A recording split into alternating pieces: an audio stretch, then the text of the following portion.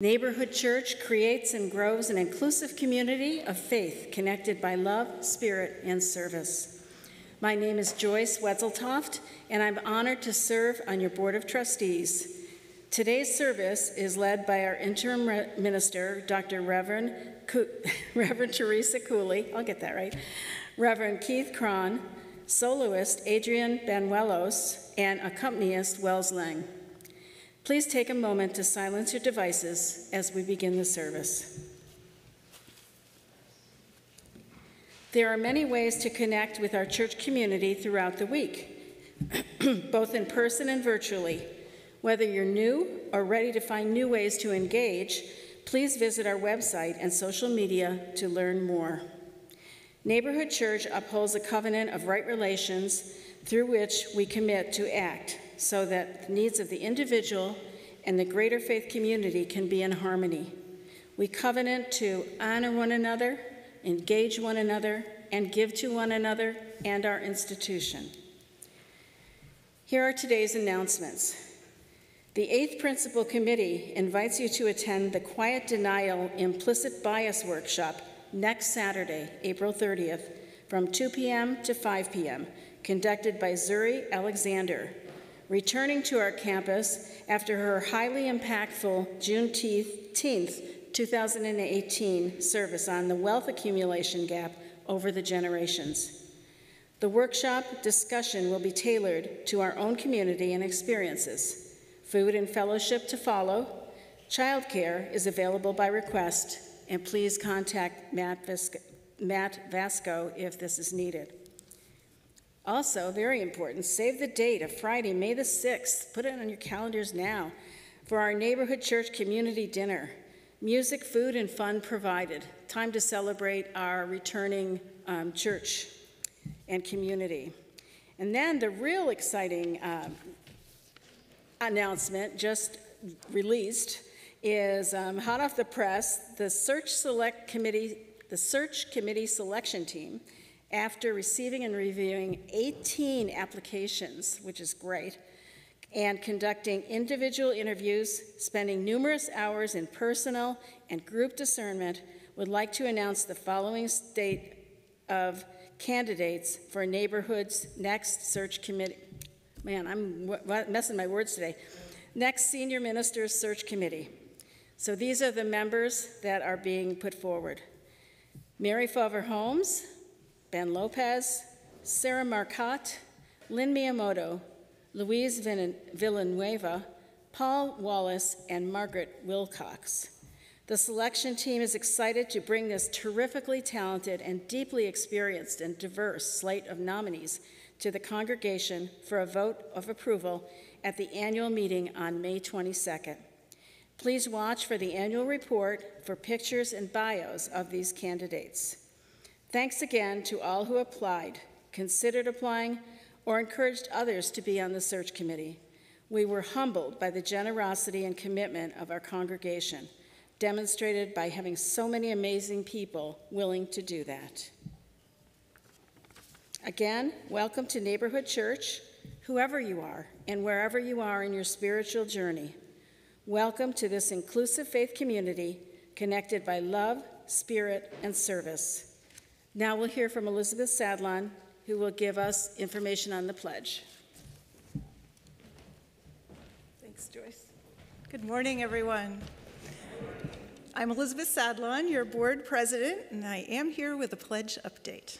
The headline is We're doing great, but we're not done yet. This church year, which goes through the end of May, is the is the first time in over 20 years that our pledge payments have come in higher than our pledge promises at the beginning of the year.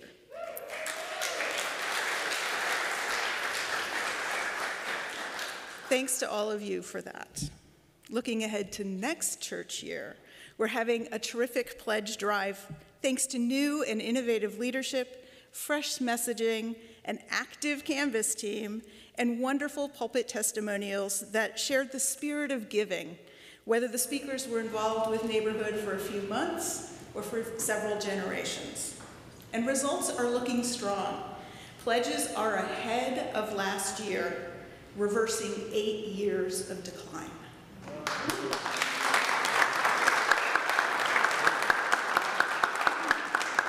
Again, huge thanks to all of you for that.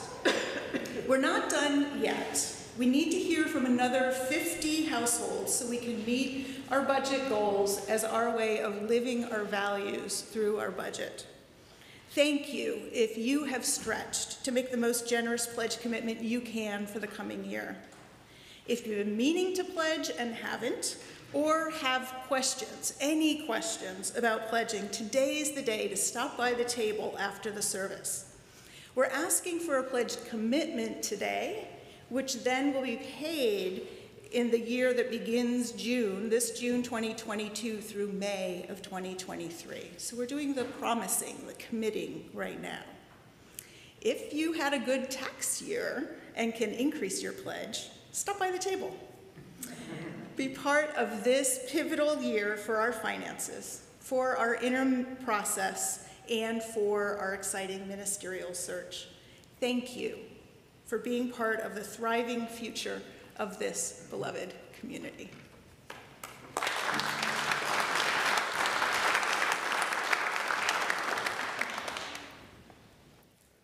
It is a busy morning, as you can see outside. We have this wonderful resource fair that has been put together by the pastoral care team, most especially Sue Erie, which features three resources that can be really helpful to all of us. The Young and Healthy organization, whose model is simple people helping people, collaborating with other com community institutions.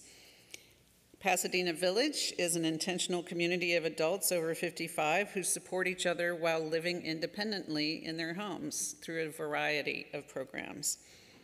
And the Huntington Senior Care Network is an outpatient department of Huntington Hospital that helps older adults, adults with disabilities, and their families remain healthy and independent. So please look at all of their resources, play some of the games, pick up some of the snacks, and have a good time after the service. Now, Martin Matthews is going to give a brief announcement.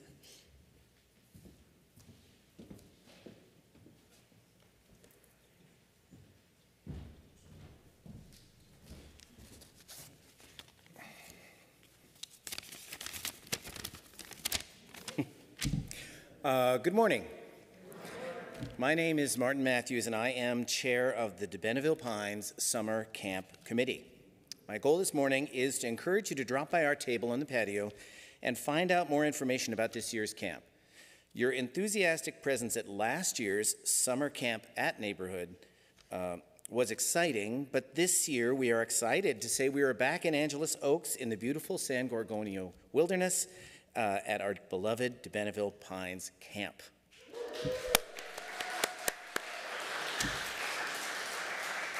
Our camp this year is August 26th through 28th, the last weekend in August. And outside after church, you're going to find information, brochures, friendly people to answer your camp related questions. We begin taking registrations forms next Sunday, May 1st.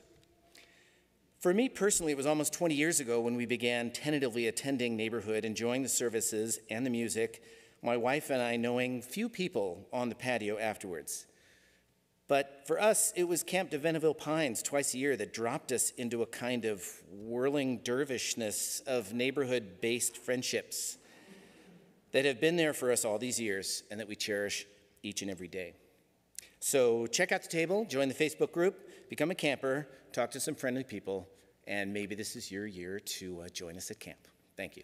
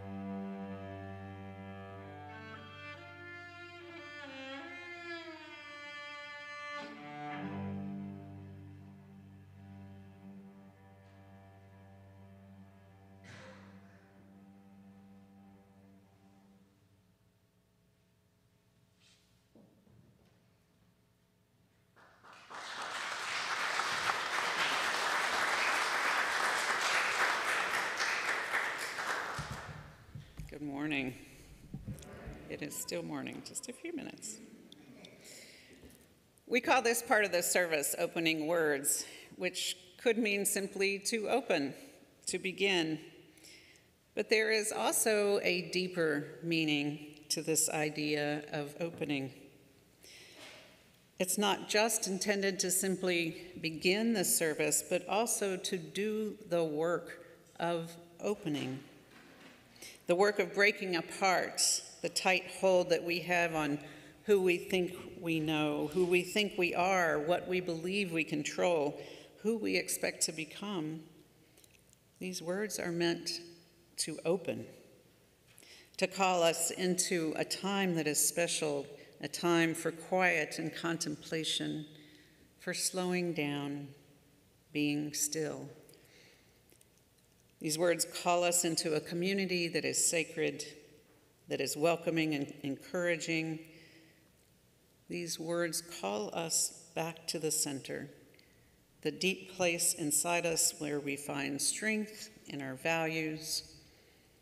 They call us into our hour together, designed to crack open our minds and hearts, to let the light shine through, to illuminate what has been growing and strengthening in the fertile dark. So let us step into this opening together.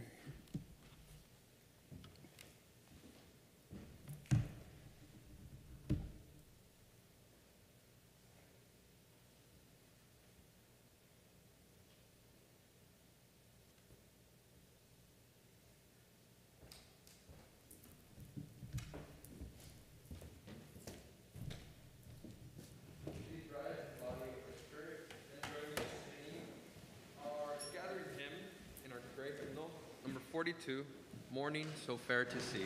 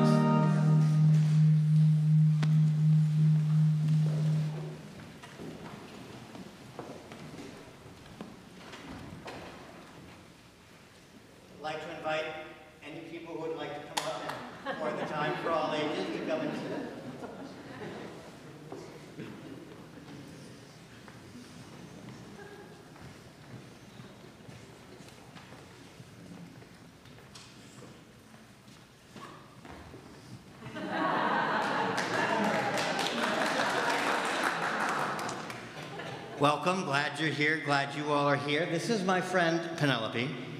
She's the star of the story. The story I'm going to share with you this morning is We Don't Eat Our Classmates. It's by Ryan Higgins. Would not be surprised if he is a Unitarian Universalist somewhere. Penelope Rex was nervous. It's not every day a little T Rex starts school. What are my classmates going to be like? Will they be nice? How many teeth will they have? These questions were all very important to Penelope. Penelope's mom bought her a new backpack with ponies on it. Pony, ponies were Penelope's favorite because ponies are delicious. Penelope's dad packed her a lunch of 300 tuna fish sandwiches and one box of apple juice. Finally, the big day came, and Penelope Rex was surprised to find out that all of her classmates were children. So she ate them. Because children are delicious. Penelope Rex, said Mrs. Noodleman, we don't eat our classmates. Please spit them out at once. So she did. It was not the best way to start school. Still, Penelope was determined to have a very good first day. She tried hard to make friends at recess, but standing at the bottom of the slide with her mouth open didn't help. She finger painted some of her best work, but her finger paint of the dinosaur eating the child didn't help either. She even saved Griffin Emery a seat at lunch. You can sit here, she said. He didn't. Penelope started to notice that everyone was making friends but her. And it was lonely. When she got home, her dad asked her about her first day of school. I didn't make any friends, Penelope cried. None of the children wanted to play with me. Penelope Rex? Her father asked, Did you eat your classmates? Well, maybe sort of, just a little bit, she said. Well, sometimes it's hard to make friends, her father said, especially if you eat them. You see, Penelope, children are just the same as us on the inside, just tastier. That gave Penelope a lot to think about.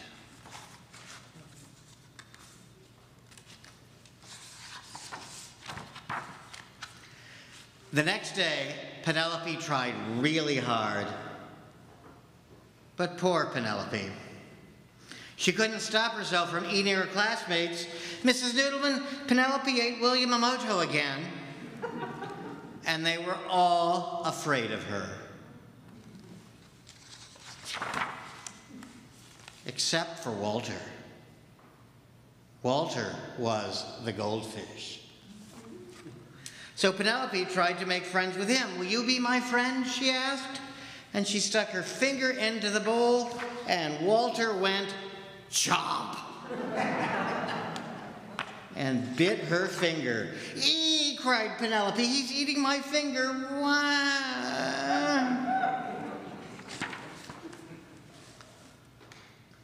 But once Penelope found out what it was like to be someone's snack, she lost her appetite for children. She stopped eating her classmates even when Cece Woodman spilled barbecue sauce all over herself. and soon Penelope began to make friends. They played hide and seek, found you.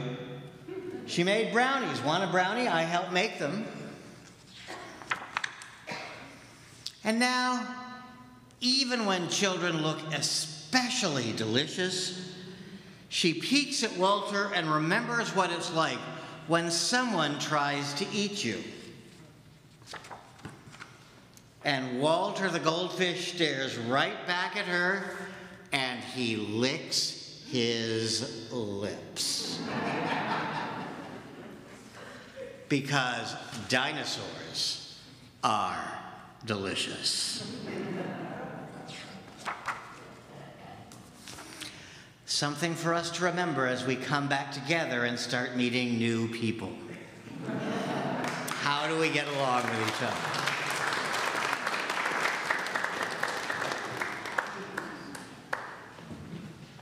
And now let's sing the children out to their classes.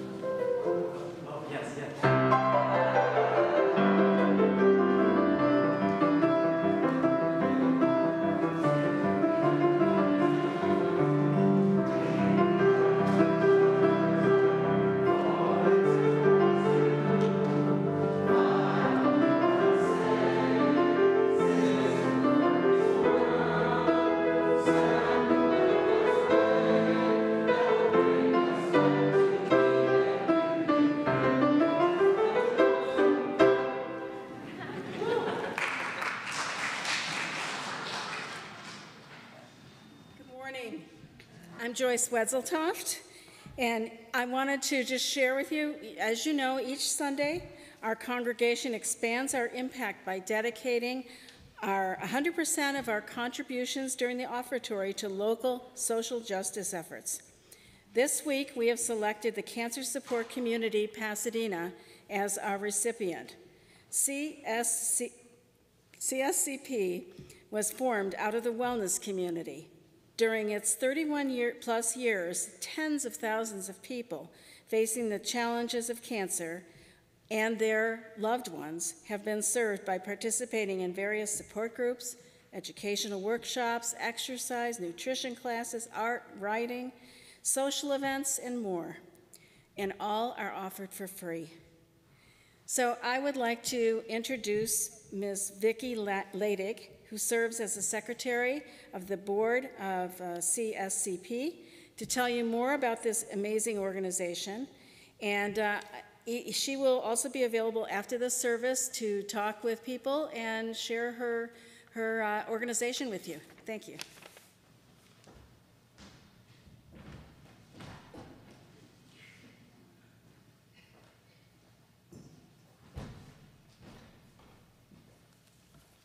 Good morning. Thank you, Joyce, and thank all of you here today for inviting me to tell you about the cancer support community and the wonderful work we do for our community here in Pasadena. We are so grateful to be the recipient of your Share the Plate program as we rely on donations and grants and various fundraising efforts to be able to continue to serve the community and offer our services for free. The services we provide to people going through cancer treatment and also their caregivers, their loved ones, and children. And this is my story. I was diagnosed with breast cancer in the summer of 2001. I was totally in shock. I never expected it to happen to me.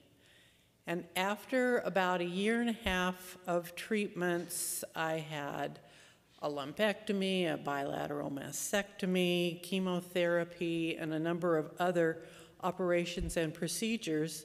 I was physically and emotionally worn out. I was fuzzy brained and unprepared for the accumulative effects of my treatments.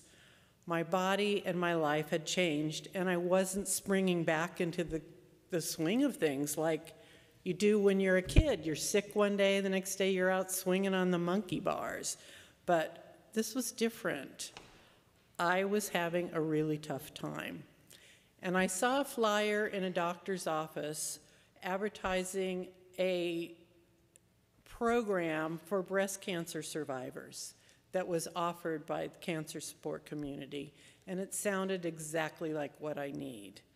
So I called up, I enrolled, and the program was held over 10 weeks for two hours on two evenings a week, and brought me together with nine other women who had just completed their breast cancer treatments.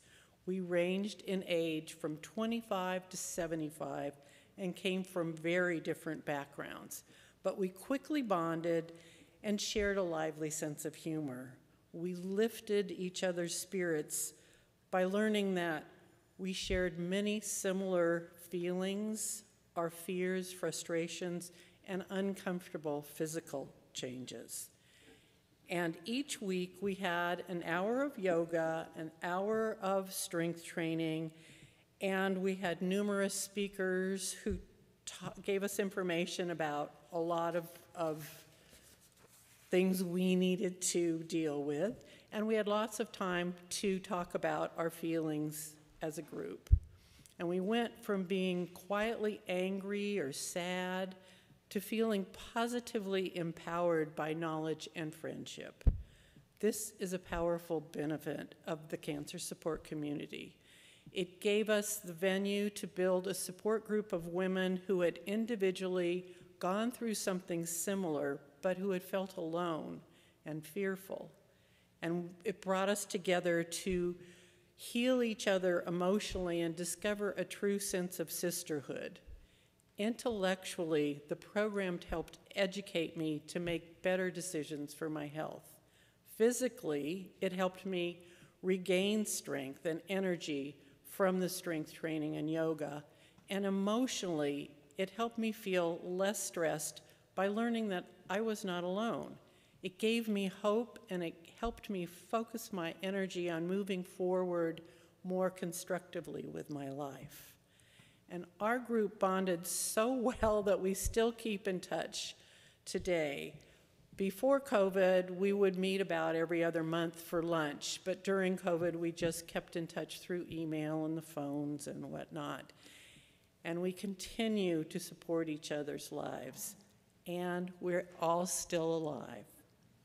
So, this, what our program offers is, was a microcosm of what we offer at the cancer support community. You just need to go, um, go to their orientation session for us for an hour to start, and we offer all kinds of different things. We, we have our calendars outside on a table. These, this is what's going on now. It lists the, the different offerings of the educational programs and the um, physical fitness. We've got yoga, we've got strength training, we have all kinds of things. And then if you open it up, it gives you a list of all the things that are offered each day. And I also have a, a list out there of the different um, services we provide.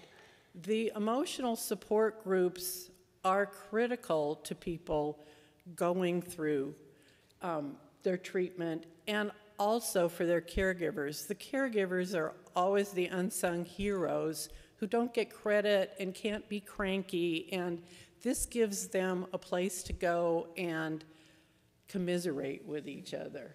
Um, and they're all led by a licensed um, therapist. So this is outside too. And then for those of you who are not going through cancer treatment or don't know anybody right now, this is a fabulous little brochure called How to Be a Good Friend to Someone with Cancer. And it gives you some rules of thumbs of thumb on what to say and what not to say to people going through cancer. I know it, it's, it helps so many people out because you're never quite sure what you should say or how to behave. And I remember when I was diagnosed, I felt like I don't want people to feel like they can't just talk to me openly. So I tried to encourage them to do that. And then I encourage you all to take one of these brochures. If you, if you can't use it right now, I'm sure you have a friend that can. And on the background, it's got our, on the back of it, it's got our information for our contact. So um, thank you again for, for um, honoring us with the, your program. And I just want to say that we provide support and our main focus is that no one faces cancer alone. Thank you.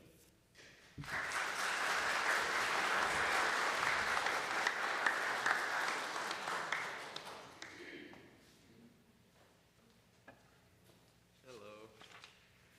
Um, this first anthem is by Mexican composer uh, Manuel Maria Ponce, who was born in 1882 and died in 1948. Uh, one of the things he's most known for and one of his goals as a composer was to keep the folk songs of the indigenous people alive by arranging them.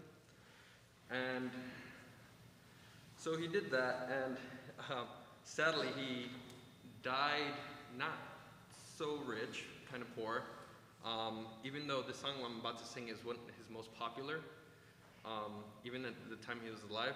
And it's because they thought it was one of those folk songs that he had arranged. Um, but he actually wrote the text and the music for it. And it's called Estrellita. And I'm going to read you a quick, quick translation. It's called um, Estrellita means little star. Little star from the far heaven, you look at my pain, you know how I suffer. Come down and tell me if they still love me a little, because I cannot, without their love, continue living. You are, O star, my guiding light of love. You know, how, you know that soon I have to die. Come down and tell me if they still love me a little, because I cannot, without their love, continue living.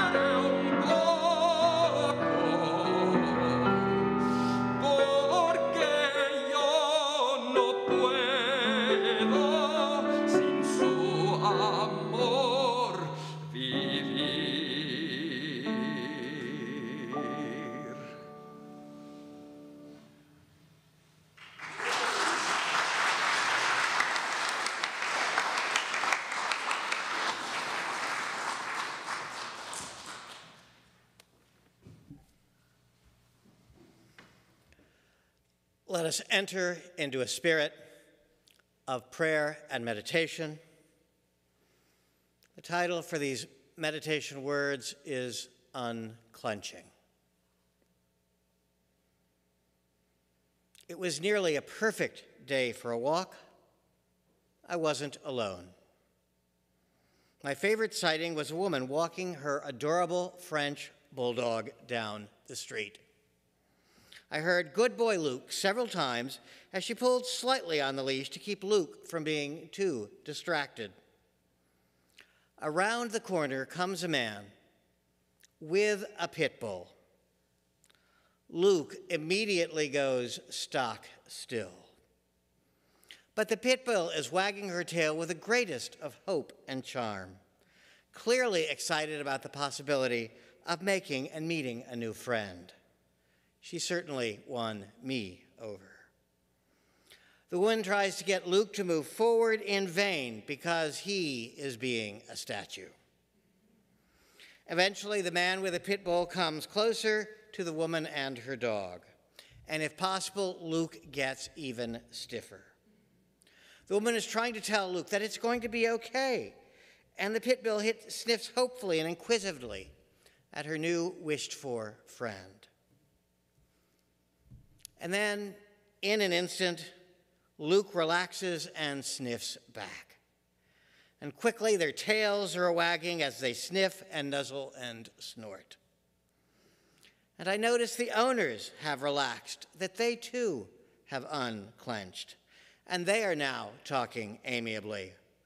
Though, near as I can tell, their tails are not a wagging with the same veracity as their pets.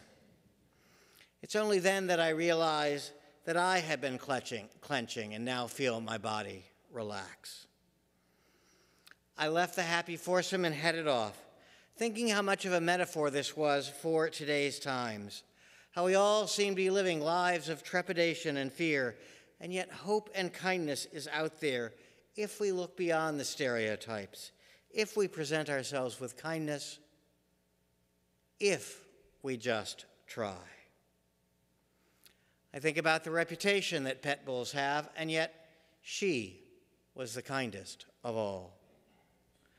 Maybe in these trying and difficult times, we need to have a little more, we need to be a little bit more like the pit bull in whatever ways we can, offering a little hope and kindness to all those new friends we might make.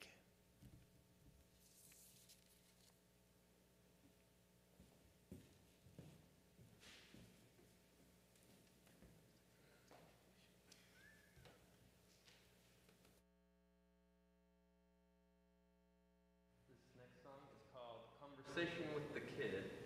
The poem is by Patti Smith, 70s rock icon. Uh, I'm a big fan of her. Um, and the text goes like this It's a conversation between an adult and a, and a kid. The kid says, Who's the guy on the glass? A mug. There's a picture of a person. Um, the adult says, That's Joyce. Joyce, says the kid, that's a girl's name. The adult says, That's a name. The kid says, Well, what's with him? The adult says, He watches over me. And then the kid says, He's only got one eye. And the dot says, A guy like him, that's all he needs.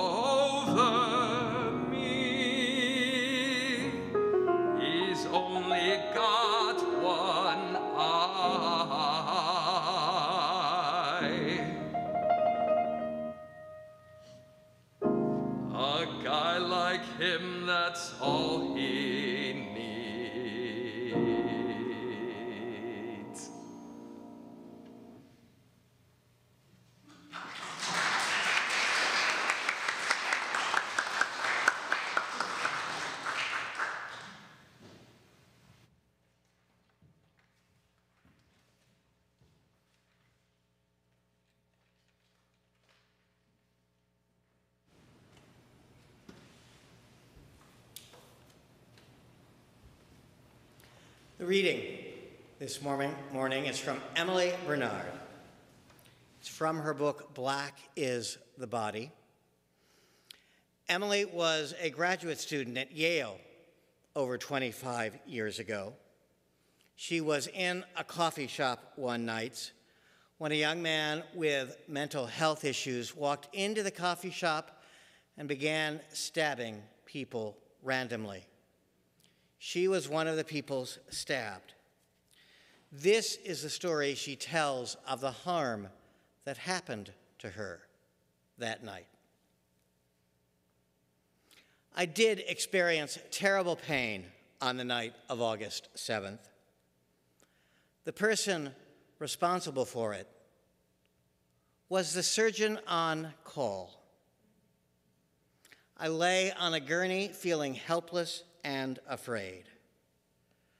The surgeon walked over without saying a word to me or even looking in my direction.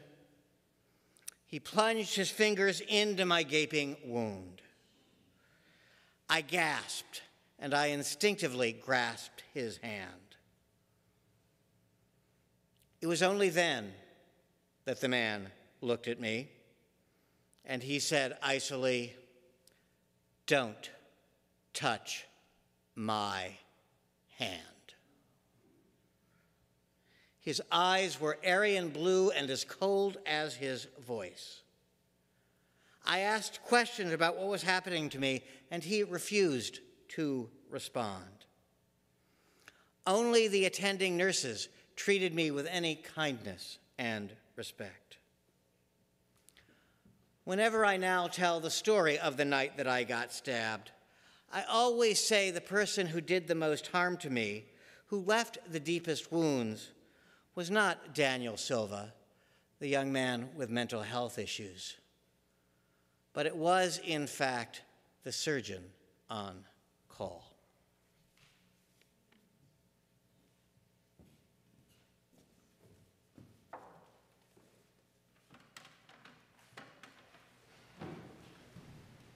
You may remain seated for our meditative hymn, which gray hymnal. Number 88, Come Soul of All Things.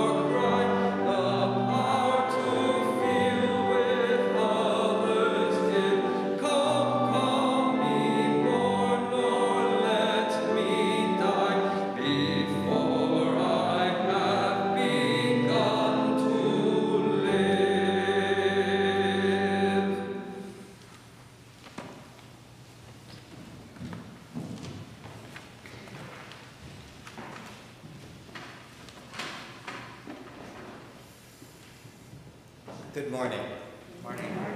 It's good to be with you. I'm the Reverend Keith Kron. I work for the UUA. I live in Providence, Rhode Island.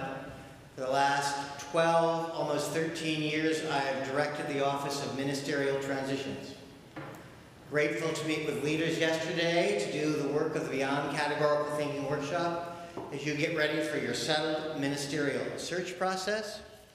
Great to be with my longtime friend Teresa, who I've known for now over 30 years. Um, great to be back out in a congregation meeting in person. It is so good to be with you all. I have been thinking a lot in my role and in general about the future of religion. What is it that might lie ahead? And I really started thinking about this a couple of years ago. You may remember a couple of events that happened in the city of Pittsburgh. You may remember when a man walked in and began opening fire in a synagogue in Pittsburgh, killing many members. And you may also remember not long before that in Pittsburgh, it was announced, finally told the stories of sexual abuse by the Roman Catholic Church in the city of Pittsburgh. And thinking about those two stories and all that has happened in religion, it has made me wonder why does anyone trust religion at all? What is its purpose? But then I think of our own Robert Fulghum, Unitarian Universalist minister, who once wrote To be human is to be religious. To be religious is to be mindful, to be mindful is to pay attention, and to pay attention is to sanctify existence. We just naturally live with religious questions. And where will we go to have those explored and wonder about?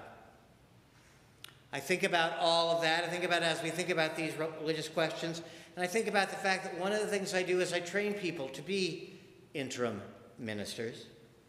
And over the last seven, several years, I've asked these new ministers to think about what is it a congregation really needs from a minister and ministry these days? The answers are uh, what you would expect good preaching, pastoral care, someone who can be prophetic, a promoter of congregational life. But what really intrigues me is what has not been said in those gatherings. Not one person said what we really need to do as religion is to build trust with each other. We really need to be a space where we live into living out the value of doing no harm. See, I was curious about ministers not mentioning that, but it occurs to me, and now in my 12 years of doing this work, I've never had a congregation say, This is what we need from a minister. Someone who will build trust, someone who will help us figure out how to do no harm, and that they do no harm. So I've been thinking about how do we build and rebuild trust in religion? How do we show up for each other? particularly when the world doesn't go as we think about, and how do we show up in the wider world? And I reflect on one of the first experiences I had when I had at the UUA, the job before this, when I was the director of the Office of Bisexual, Gay, Lesbian, and Transgender Concerns, and had been called by our congregation in Laramie, Wyoming, just after Matthew Shepard was killed. And the minister said, We just simply need someone to be here with us. We have no idea what this means and what goes ahead. So I flew to Wyoming. And in talking to the minister, he and I agreed that that Sunday morning I asked, what, what is it you would like me to talk about? And he said, I just want you to say a few words. I got this really nice letter of support from someone which I would like to read, and then I'd just like for you to say a few words. And I agreed. And then later we'll go to the fence where Matthew had been left. So the minister stood up, read the letter, turned to me, and now said, And now Reverend Kron will lead the sermon this morning. I don't remember what I said. I do remember how important it felt to just simply be there and be with people as we were trying to figure all of this out. Later, when we went to the fence where Matthew had been left to die and died, uh, we had agreed we were going to lay some flowers down. So the minister took a bouquet of flowers, put them by the fence, turned to me and said, And now Reverend Kron will lead the memorial service for Matthew Shepard. I have no idea what I said. I do remember standing with the people of the congregation by the fence where a man had died just simply four days before.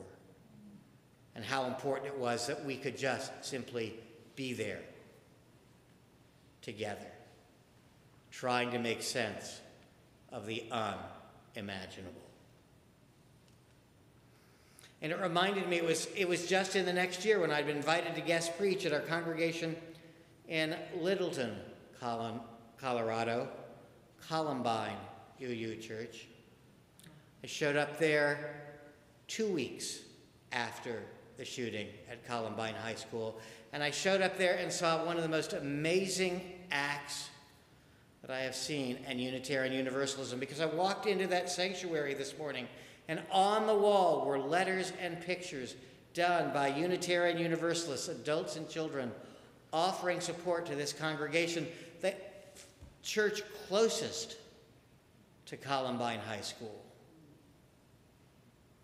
where the minister had, at our congregation there had known the parents of the shooters, just offering support, just being there for each other. And it made me think one of the things we do, do need to do for each other now is just simply show up. And I'm grateful now that we are able to do this now in person again. But it's also, as I think about things like trust, I'm reminded that Brene Brown talks about how um, trust is built in little moments. And that has made me think is it broken in little moments? And certainly, as I had a conversation with a minister in Laramie about that, I told him, You had surprised me. And he said, I literally had no idea what to do. This is beyond what I had thought I would ever do as a minister. And I said, This moment is beyond what any of us thought. But we can show up for each other, we can talk to each other. Just be real about what we need, and then we figure it out. And it also made me think of a story about trust being built in the little moments, how harm happens. And I remember back to seminary, I was in a class on death and dying, was taught by a woman who was a Holocaust survivor. She was a therapist who worked with teens and youth who had been contemplating suicide. And she asked us one day to role play what it would be like to be a chaplain at the bedside of a man near his death, couldn't move, could barely speak. What we we do as a chaplain in that impossible moment.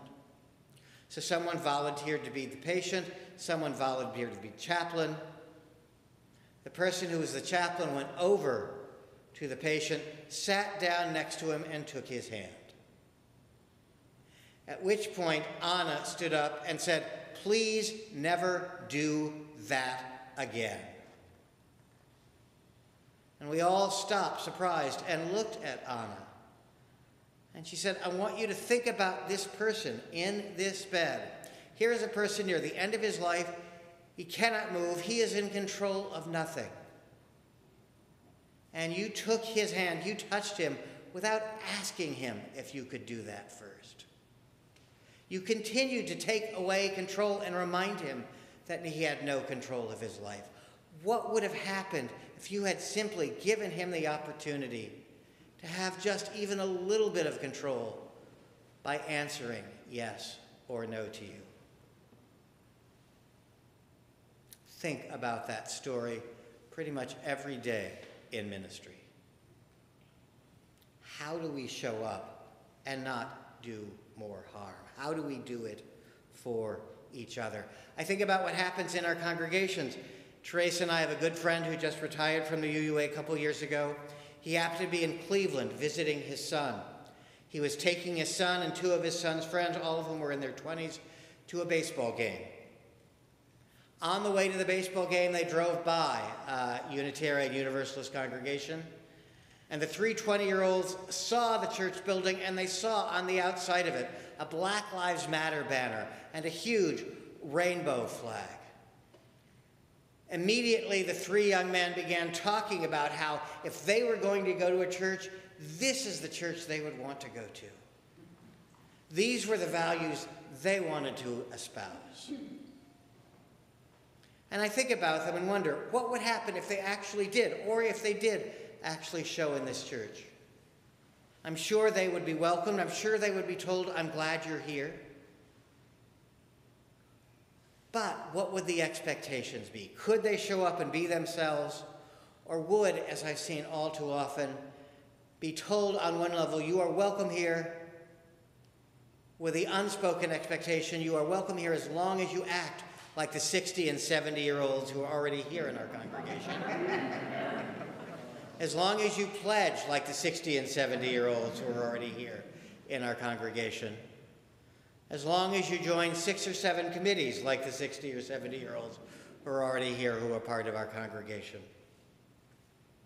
What would it mean to let them just show up and be who they are and to seek their own questions and to figure out how to live their own values?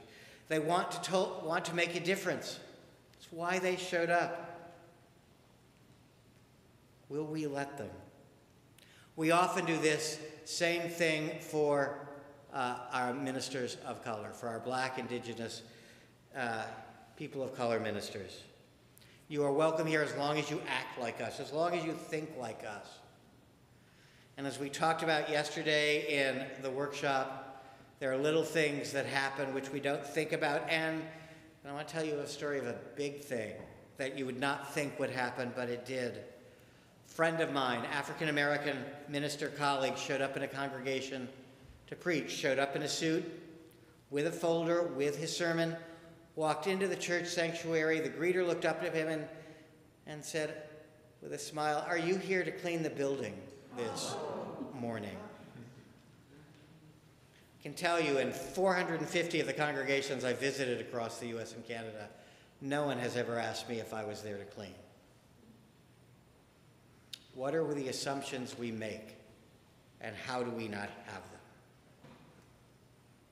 We also see this around theology. How do we not eat our classmates? Sometimes we can be as rigid and as, and, and as harmful as some of the fundamentalists many of us have tried to escape. It's really good to be a place where people of many theologies can show up. It could be a golden age for Unitarian Universalism. As we move out of this phase of the pandemic, there will be people who will be looking for community, trying to get answers that not one set of beliefs can find, looking for a place that isn't fighting about gay rights or trans rights, where the younger folks who know diversity because they live it are looking for a church that actually looks like the world they live with. Will that be our congregations? Or will we simply decide, no, no, we have to be like we always were? We have to get back to the way we were. And I now ask congregations in search is what you really want as a minister? Or is what you really want a hospice chaplain? Because the number of people who want what you have had before is getting smaller and smaller. And yet, Unitarian Universalism is needed now more than ever. Think about the Nigerian author Chimamanda Adichie, who writes about the danger of the single story. She says the single story creates stereotypes, and the problem with stereotypes is not that they are untrue, but they are incomplete. They make one story the only story. Each of you is more than a single story. Each UU congregation is more than a single story. How do we figure out how to live these multiple stories into existence? This is what the world needs at the moment. Will we allow ourselves to be more than a single story? Or will we commit little acts of violence, do more harm, and expect everyone to be the way we were? How do we in these times, how do we unclench? How do we do no harm? How do we pay attention? How do we sanctify existence? How are we going to be religious? That's not to say there won't be disagreements. I think about the dean of my seminary who told me this story. He was meeting with deans from eight other seminaries, and he and one of the other deans from the Lutheran school had very different opinions about what should happen next. And what Bob said, what intrigued him the most, was that the other seven deans were spending their time trying to get the two of them to get along. and he finally said, I want you to know that Jeff and I disagree. After this meeting, we'll probably go to lunch. We will continue to be friends. We will make a decision and we will move on. I'm more interested in knowing what you believe than you're trying to make this better. If you want to take it better, I would like to hear your voices and your opinions. Can we really let the diversity of what we believe be side by side next to each other? I so hope we can. I really learned this many years ago. I just started at the UUA, was at a conference on religion, gender, and sexuality.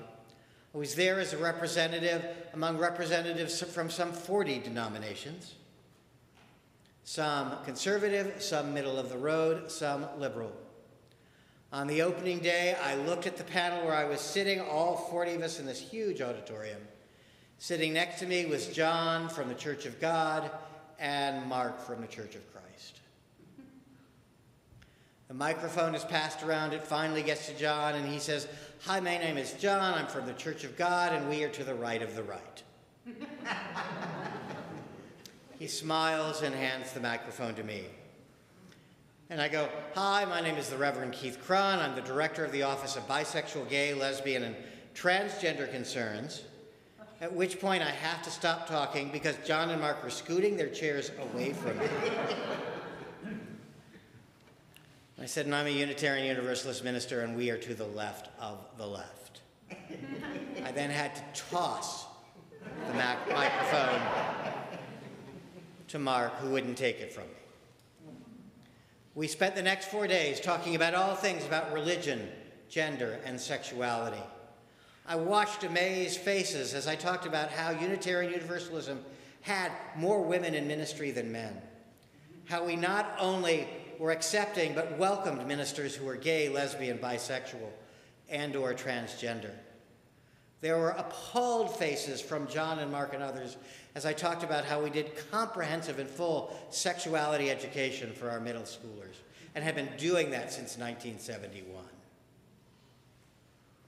It was a very fascinating four days. And on the last day, John and Mark and two of his friends, probably named Matthew and Luke, came up to me and said, We would like to have lunch with you. And I thought, This will be fun. but I had learned all five of us were all from Tennessee originally. And I thought, at least we have that in common. So we all sat down. Uh, we talked about uh, being from Tennessee for a moment before Mark finally said to me, we just wanted you to know that we have listened to every word you said. And we have disagreed with every single word you have said for the last four days. But we wanted you to know that we respect you. Because at least you are clear about what you believe.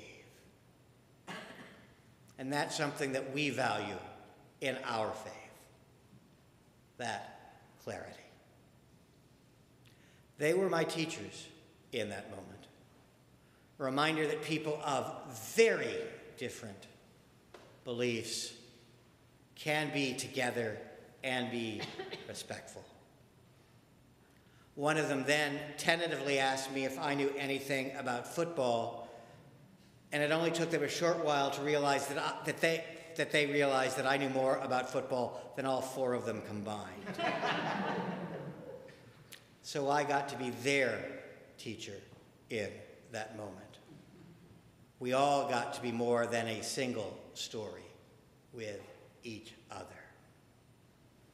And this is my hope for us that we can just celebrate the multiple stories that each of us and each congregation has as we move forth, that we can be a place where people can show up and ask their questions.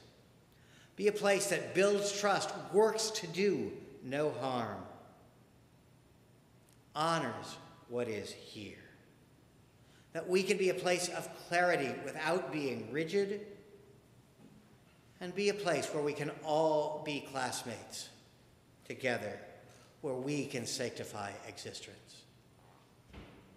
That we can work to do no harm in a world where a lot of harm happens.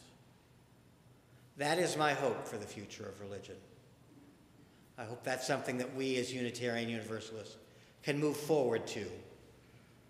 And I will work with you as you work in your next ministerial search to find a minister who can help you do that.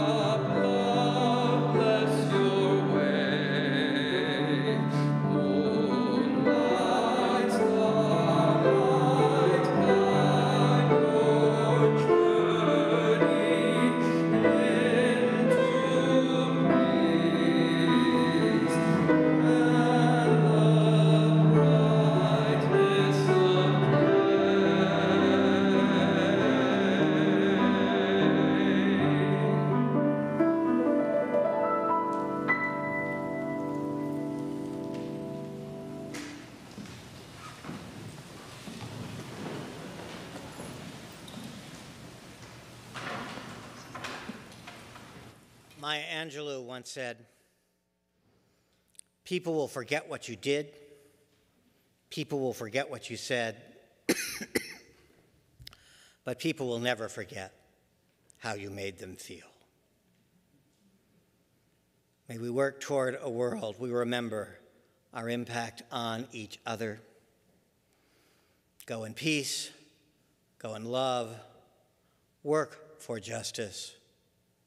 Go forth and bless the world. Amen.